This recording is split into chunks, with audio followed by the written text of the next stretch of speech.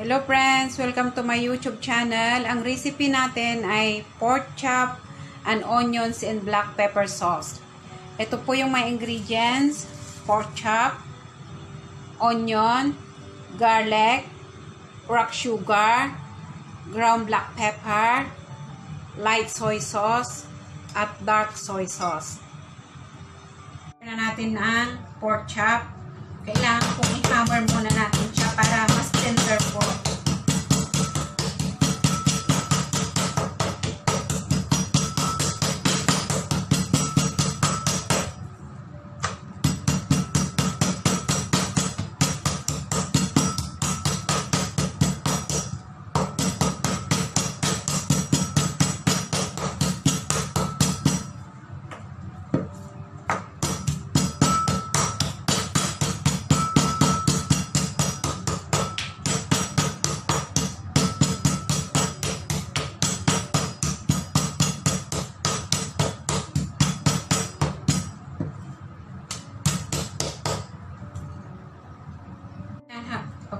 Pagkatapos ng ano, mahammer, ikat natin siya.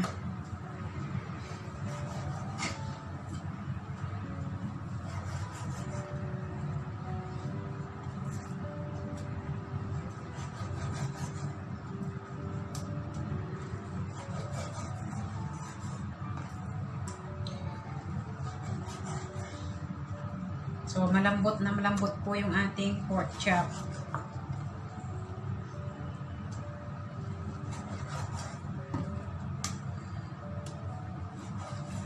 And then, hugasan. Hugasan muna. So, ito na. Nahugasan na yung ating pork chop. Timplahan muna natin ng light soy sauce. Para sa ganun, mas malasa siya. Pepper powder.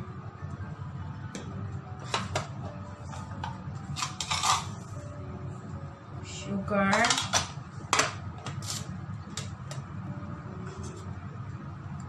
cornstarch, at sesame oil.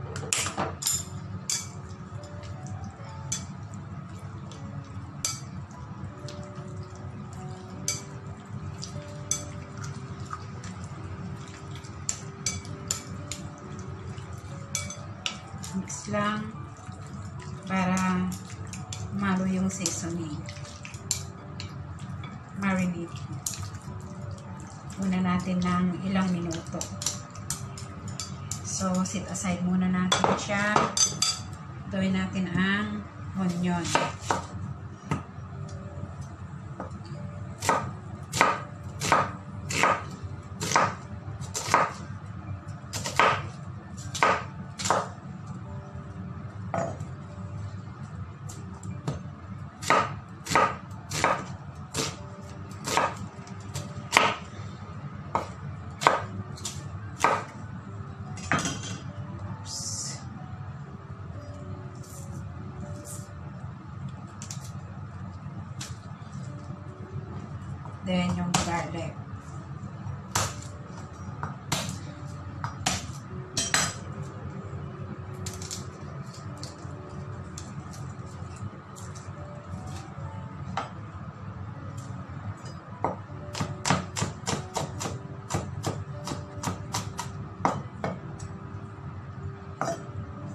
So, prepare na yung ating ingredients. Start na tayong mag... So, start na tayong magluto. Nagpainit na ako ng oil.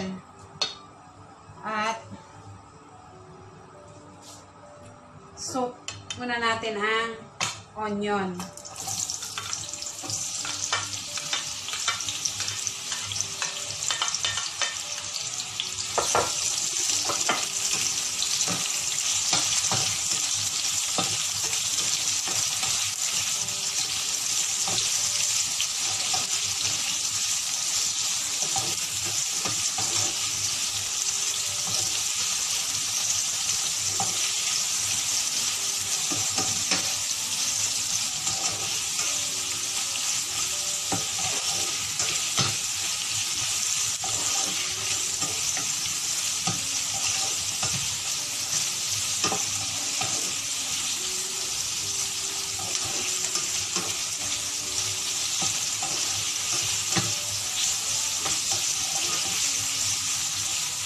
Ayan po, lumalabas na yung kanyang bango.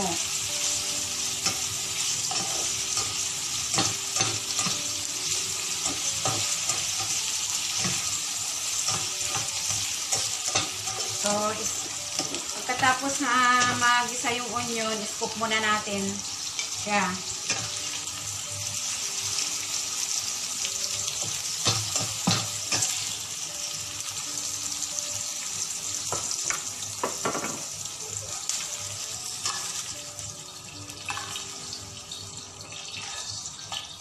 Okay. Then,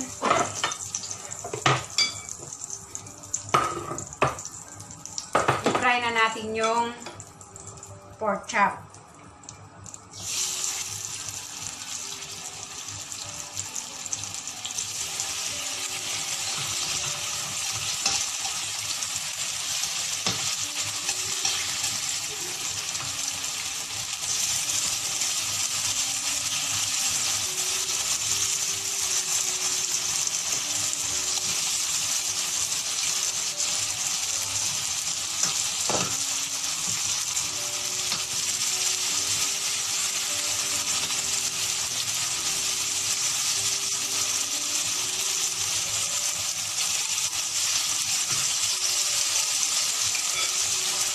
Try lang natin na mag-brown siya on both sides. So, pag na-prito na, brown na siya, isin muna. So, madali ang fry lang ha, mga 2 minutes lang on both sides. Then, lagay na natin yung bawang.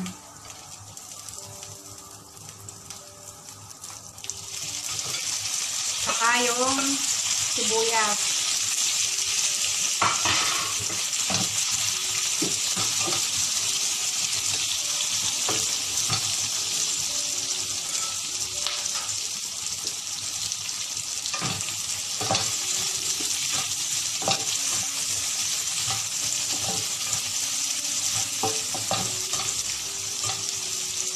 Then, ibalik natin yung pork chop.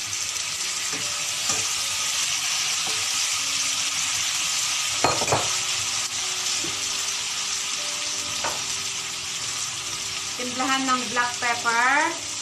Dapat marami lang yung black pepper.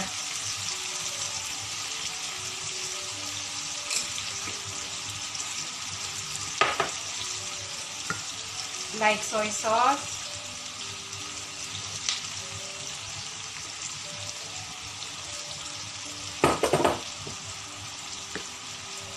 Dark soy sauce.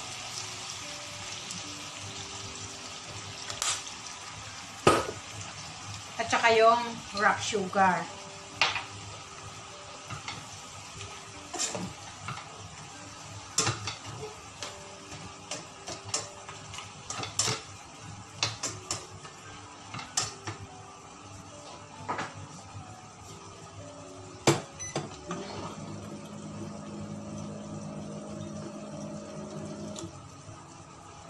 Then, mag-add tayo ng hot water. Dapat po hot water po yung ilalagay nyo ha. Yan. So, papakuluan natin.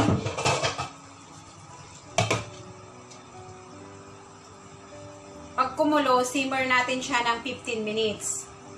So, after 15 minutes yan na po siya. Naglisan na po yung sauce. So, luto na siya. From time to time, haluin nyo ah pag ano. So, perfect. Patayin natin ang apoy.